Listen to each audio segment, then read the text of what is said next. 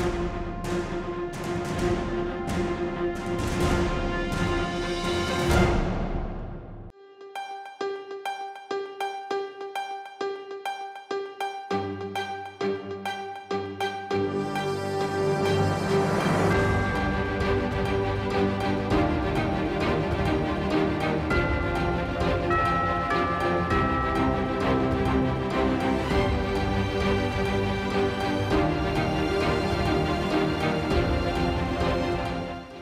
저는 그린시티를 아름다운 장산을 품은 명품 도시로 만들겠습니다.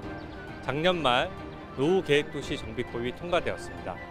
그에 따라서 용적률을 기존 용적률의 150%까지 상승시키고 또 안전진단을 면제해서 신속하게 재정비할 수가 있습니다.